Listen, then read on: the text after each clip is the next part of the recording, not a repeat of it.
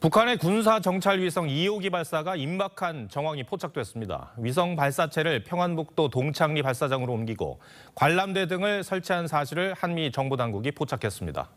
이르면 다음 주 초에도 발사 가능성이 있다는 관측이 나옵니다. 윤동빈 기자 리포트 전해드리고 뉴스야 이어가겠습니다.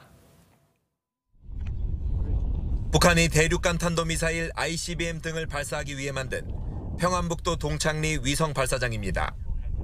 북한이 최근 이곳에 위성 발사체를 옮기는 모습이 한미 정보당국에 포착됐습니다. 관람대가 마련되고 비행 경로를 추적하는 계측 장비가 설치된 정황도 식별됐습니다.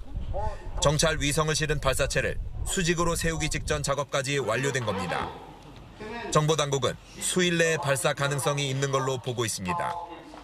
북한은 지난해 11월 만리경 1호를 지구 저궤도에 올리는 데 성공했는데 당시 발사 직전에도 비슷한 정황이 포착된 바 있습니다.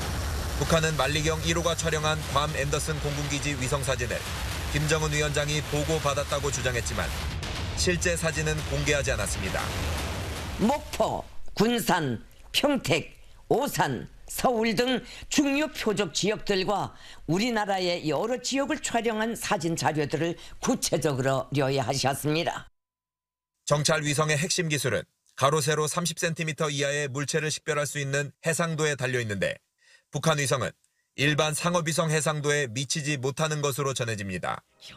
ICBM 기술을 고도화하기 위한 과정으로 보이지만 북한은 위성 개발임을 강조하기 위해 발사에 앞서 국제 해사기구의 일정을 통보할 전망입니다. TV조선 윤동빈입니다.